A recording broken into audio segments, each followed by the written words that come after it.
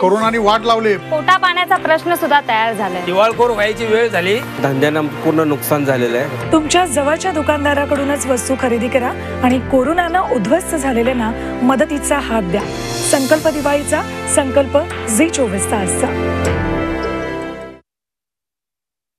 नागपूरच्या गंगा जमना red light एरियामध्ये काही कुंटणखान्यांवर छापे टाकण्यात आले आहेत. त्यावेळी या कुंटणखान्यांमध्ये छुपी भुयारं आणि तळघरं सुद्धा सापडले.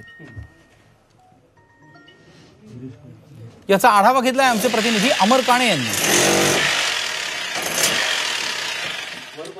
गंगा जमुना परिसरामध्ये नागपूर पोलिसांची कारवाई सुरू आहे आणि आज केलेल्या कारवाईमध्ये त्यांना काही इथे तळघर आणि भुयारी मार्ग सापडला आहे पराग कोटे सर आहे लकडगंज पोलीस ठाण्याचे पोलीस निरीक्षक आपण बघू शकतो हे हा एक कुंटणखाना आहे आणि या परिसरामध्ये एक तळघर सापडलेलं आहे आपण हे दृश्य बघू शकतो. ही लहानशी रूम आहे पाच बाय सहाची रूम आहे आणि इथे एक तळघर पोलिसांना सापडलेलं आहे. माझा कॅमेरा पर्सन दाखवू शकतो? इथे सगळ्या त्या तरुणींना हे ते लपून ठेवण्यात येत होतं. कशा पद्धतीने ही रूम होती? हे थेट दृश्य बघू शकतो. अतिशय अमानवीय पद्धतीने जेव्हा पोलिसांचे छापे पडायचे त्यानंतर या ज्या मुली इथे आणण्यात आलेल्या होत्या लपवून ठेवण्यात आलेल्या होत्या त्यांना या परिसरामध्ये कोंडून ठेवण्यात येत होतं. अतिशय अंधारी अशी संपूर्ण रूम आहे. अतिशय अमानवीय पद्धतीने लहान मुलींना तरुणींना इथे लपून ठेवण्यात येत होतं आणि पोटे सर काय सांगाल? अजून काही तळघर सापडू शकतात हे सुद्धा थोडं पॅक असल्यासारखं वाटतंय. तेव्हा मी पुन्हा व्हेरीफाय करतो आणि पुन्हा ते शोधून काढण्याचा प्रयत्न करतो. कशी काय ही माहिती मिळाली?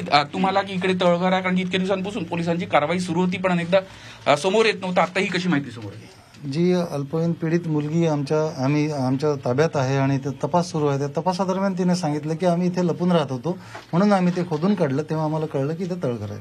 आता पोलिसांना दोन भुयारे मिळाले आणि इथून अजून पुढे कारवाईमध्ये असे अनेक तळघर आणि भुयारी सापडतील असा दावा पोलिसांकडून करण्यात आहे झी मीडियासाठी व्हिडिओ मंगेश हस्तकचा अमर काणे नागपूर. रेवपाटी प्रकरणात एनसीबीनं अटक केलेल्या मुनमुन धमेच्या हिची आज सुटका होण्याची शक्यता कमी आहे. मुनमुन मुंबईची स्थानिक रहिवासी नसल्यानं तिच्या जामीनदाराबाबत अडचण निर्माण झाली. तिचे वकील पुन्हा पुन्हा कोर्टात जाणार आहेत. त्यामुळे आज तिच्या सुटकेची शक्यता कमीच आहे.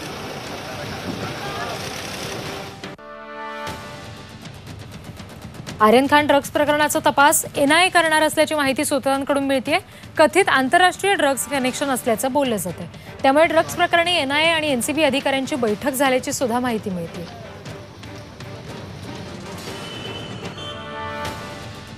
पेट्रोल डिझेलची दरवाढ ही सुरूच आहे. पेट्रोल डिझेल पस्तीस पैशांनी महागले मुंबईमध्ये पेट्रोल एकशे चौदा रुपये एक्क्याऐंशी पैसे प्रति लिटर आहे.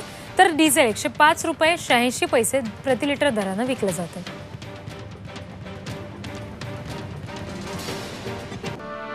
करोनाने वाट लावले. पोटा पाण्याचा प्रश्न सुद्धा तयार झालाय. दिवाळखोर व्हायची वेळ झाली. धंद्यानं पूर्ण नुकसान झालेलं आहे. तुमच्या जवळच्या दुकानदाराकडूनच वस्तू खरेदी करा आणि कोरोनाने उद्ध्वस्त झालेल्यांना मदतीचा हात द्या. संकल्प दिवाळीचा संकल्प झी चोवीस तासचा.